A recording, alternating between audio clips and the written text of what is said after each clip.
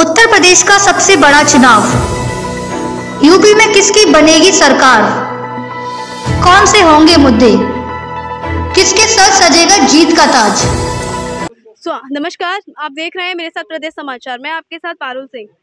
जैसा कि आप सभी जानते हैं, विधानसभा चुनाव आने वाले हैं तो हम आज आए हुए हैं नगला, अलिया गाँव में हाथ, ब्लॉक हाथरस यहाँ की जनता से जानते हैं कि उनकी क्या राय है विधानसभा चुनाव को लेकर। तो आइए चलते हैं, बात करते हैं। कुछ खास लोगों से। गाँव में क्या चल रहा है कि चुनाव किसका किसको चुनाव में आने वाला है? किसी को नहीं डाल रहे सब वोट हमारे यहाँ। क्यों ऐसा क्यों? ऐसा है कि हमारे गाँव में तेरह सौ वोट हैं तो हाँ। तेरह सौ वोट दूसरे गाँव में पहुँचा दिए चुनाव में। होलिया में गुथ चेंज कर दिया है। चेंज कर दिया है। कित, कितने वोटर माँ तेरह सौ वोटर हमारे गाँव में नगलालिया में जी और जिस गाँव में मतदान भेजा गया है वहाँ कितने वोटर थे? माँ दो सौ ढाई सौ करीब है बस। ऐसा हुआ क्यों है?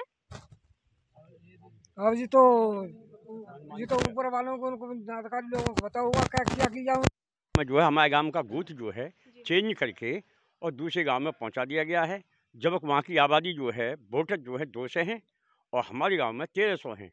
जबकि तेरह सौ परेशान होंगे और दो सौ परेशान नहीं हो सकते यहाँ नहीं आ सकते।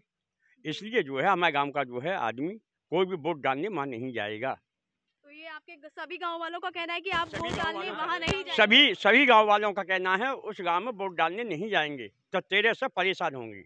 ऐसा हुआ क्यों है? जब आपके यहाँ वोटिंग ज़्यादा है तो फिर वहाँ क्यों क्यों? यहाँ यहाँ जो है कुछ जाति विशेष के कारण बस हुआ है कुछ लोग जो है एक एस सी वर्ग के हैं वो जो है वहाँ ले गए हैं अधिकारी जो कुछ ऐसे हैं जो एस सी वर्ग के हैं वो ले गए वहाँ। वो ले गए। हैं। पुलिस स्टेशन को। वैसे किस पार्टी को समर्थन को समर्थन देते पूरा गाँव बीजेपी का है। पूरा गाँव बीजेपी का है। और जो अधिकारी जो आप बता रहे हैं जिन्होंने ऐसा मतलब वहाँ बदलाव किया है जो वहाँ वो एस सी के हैं। एस सी के हैं जाटव हैं। और आपकी क्या आपका हाँ जी हमारे यहाँ मेरा नाम अशोक कुमार है। जी। हमारे यहाँ साठ साल से चुनाव हमारे नहीं चलवा रहा। है अब के क्या तो सरकार की कभी मान लो कर्मचारी ने की कैसे वो करेगा? हमारे यहाँ से मतदान हटा दो है। हमारे यहाँ दो किलोमीटर अलग कर दो है। रास्ता आवे जा भी बहुत परेशानी है। क्या वजह से हमारे यहाँ से कोई इलेक्शन को वोट डालवे ना जाएगा वैसे अभी आप सभी वैसे हम से जे आए हो, पीएपी के पर हम काउ को जाएँगे ना अब अब आप किसी को भी वोट नहीं किसी को ना देंगे हम। वैसे हम बीजेपी के पहले बढ़िया टॉप थे।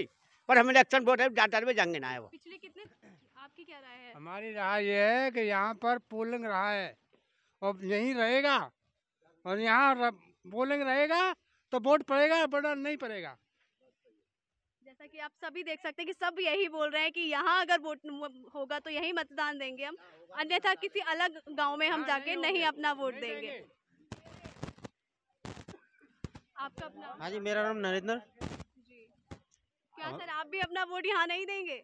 वहाँ पर नहीं जाएँगे यहाँ पे हमारे गाँव में अगर पोलिंग होगी तो वोट देंगे नहीं तो दूसरे गाँव में नहीं जाएँगे क्योंकि वहाँ की आबादी कम है यहाँ की तेरह सौ के करीब वोटिंग है इसलिए बूथ क्यों क्यों बदला गया? क्यों बदला गया? हम्म हाँ तो यही यही क्यों बदला गया?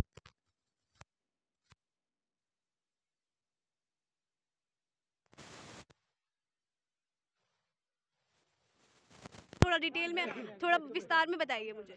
देखो पहले हमारे मेरे से हमारे गाँव में वोट पड़ते थे पहले।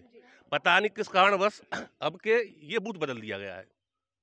ये हमें जानकारी नहीं है लेकिन हमारे गाँव की आबादी तेरह चौदह से वोट हैं वहाँ चार सौ वोट करीब होंगे। लमसम साढ़े तीन सौ चार सौ।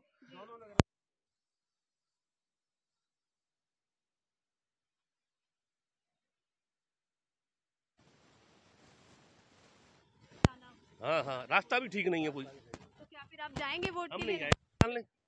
हमारे यहाँ से कोई वोट डालने नहीं जाएगा। आपके गाँव से कोई भी नहीं नहीं जाएगा हमारे यहाँ। देखो वो लटका हुआ हमारे यहाँ एक बैनर। चुनाव उसका मतदान का बहिष्कार करेंगे हम। सर बोल रहे हैं कि मतदान का बहिष्कार करेंगे वोट डालने नहीं जाएँगे कहीं और। उनके गाँव में ही अगर होगा तो वो मतदान करेंगे। और कोई समझ हमारे यही बात हमारी सबसे बड़ी। हमारा इलेक्शन नहीं करते बस। हमारे वोट हमारे गाँव में पड़े। जैसा कि आप सभी ने देखा और देख रहे हैं कि जनता का यही कहना है। जी हाँ कि सभी की एक ही राय है मैं देख ही रही हूँ। तो इनका वोट इनको गाँव में मिले तभी मतदान होगा नहीं तो ये इतनी सारी जनता हमारी ये अपना वोट मतदान नहीं करेंगे तो इससे क्या हो सकता है? आप भी खुद सोच। जी देखते रहिए मेरे साथ प्रदेश समाचार कैमरामैन अजय शर्मा के साथ। ऐसे ही वीडियोस देखने के लिए सब्सक्राइब करें प्रदेश समाचार नेटवर्क और लेटेस्ट वीडियोस के नोटिफिकेशन के लिए बेल आइकन दबाना ना भूलें।